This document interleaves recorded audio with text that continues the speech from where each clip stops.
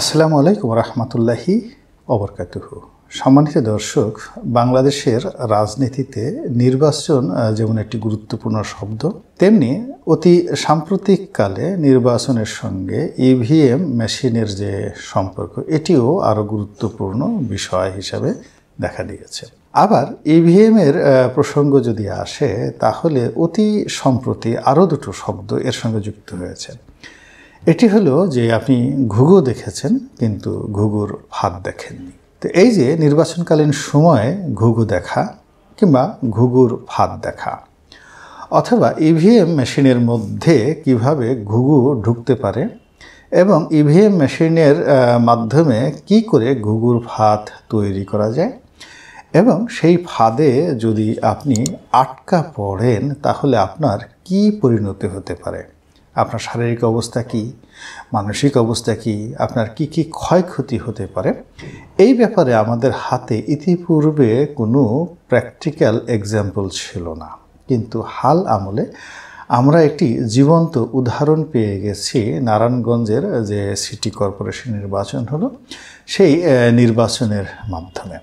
আপনারা জানেন যে নারায়ণগঞ্জে যে নির্বাচন হলো, সেখানে সরকার দলীয় প্রার্থী ছিলেন ডাক্তার সেলিনা হায়াত আইভি এবং তার বিপক্ষে ছিলেন বিএনপির এক সময়ের খুবই ত্যাগী নেতা, সিনিয়র নেতা এবং সাহসী মানুষ বলে যিনি অতি পরিচিত এবং নারায়ণগঞ্জের শ্রমিক রাজনীতি এবং গণমানুষের রাজনীতির সঙ্গে যার দীর্ঘদিনের আত্মার সম্পর্ক, সেই মানুষটি হলেন জনাব তৈমুর আলম খন্দকার।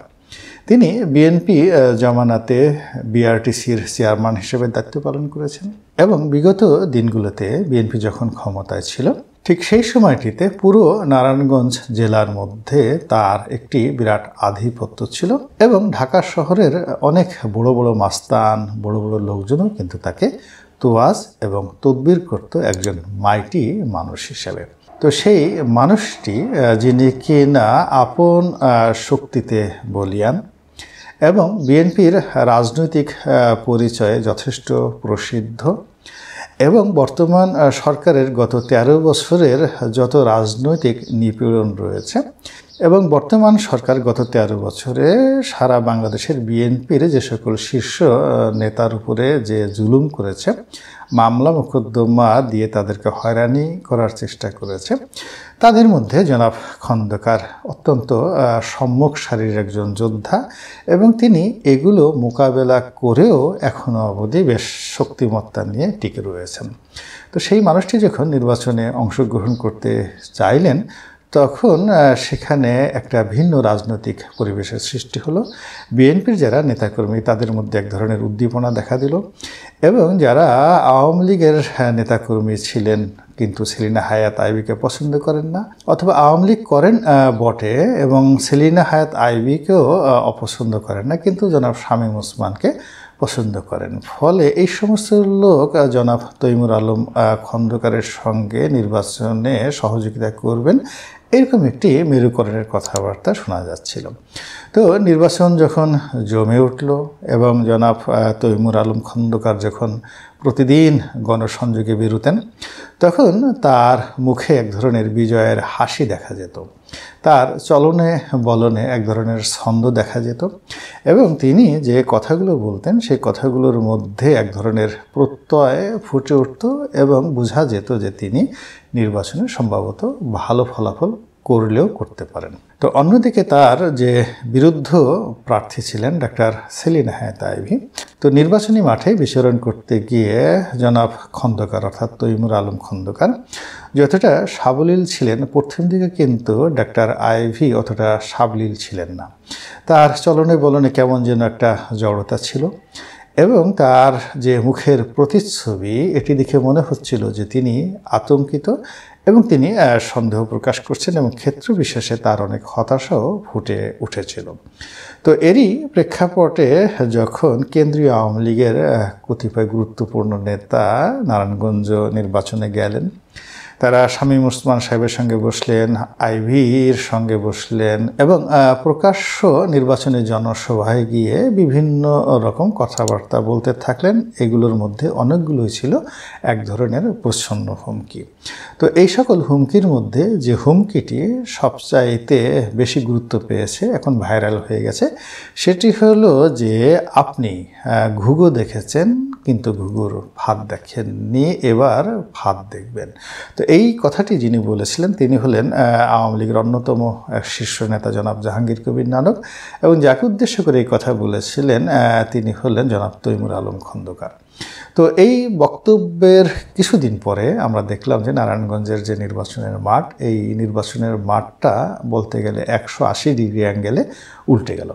আমরা দেখলাম যে ডাক্তার সেলিনা হায়াত আইভির মুখে একটি প্রাকৃতিক হাসি ফুটে উঠেছে।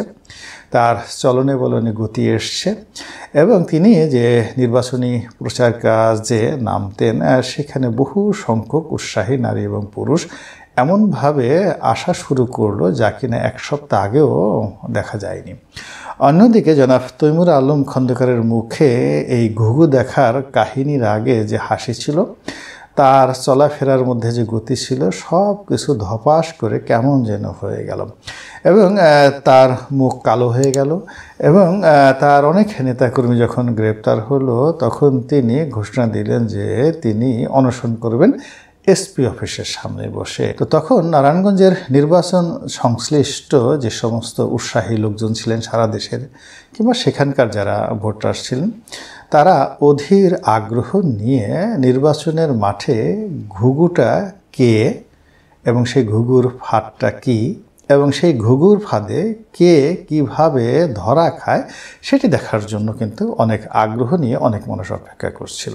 তো নির্বাচনের ফলাফল যখন বেরোলো, তখন মানুষ সাধারণ বুদ্ধিতে যে সকল ঘুঘুর আকৃতি আবিষ্কারের চেষ্টা করছিল এবং ঘুঘুর ফাঁদ নিয়ে যে ধরনের কথাবার্তা বলা বলি করছিল, সেই সকল জিনিস সম্পূর্ণরূপে উল্টে গেল যখন নির্বাচনের পরাজিত প্রার্থী জনাব তৈমুর আলম খন্দকার বললেন যে নির্বাচনে যে ইভিএম মেশিন ব্যবহার করা হয়েছে, এই ইভিএম মেশিনের কারণেই তার পরাজয় ঘটেছে এবং ঘুঘু বলতে যদি কাউকে বোঝানো হয় এবং ঘুঘুর ফাঁদ বলতে যদি কিছু থেকে থাকে, তাহলে সেটি ইভিএম মেশিনের মধ্যেই ছিল। এবং এই যে তার এই বক্তব্য, এই বক্তব্যের সঙ্গে যদি সারা দুনিয়াতে ইভিএম মেশিনের যে ভোটিং পদ্ধতি, এটির তুলনা করেন, তাহলেই বুঝতে পারবেন যে নারায়ণগঞ্জের ইভিএম মেশিনে কি গগুর ফাঁদ পাতা হয়েছিল।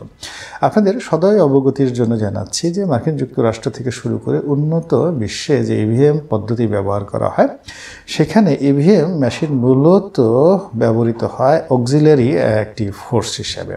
অর্থাৎ সেখানে ত্রিমাত্রিকভাবে ভোটের ফলাফল কাউন্ট করা হয়।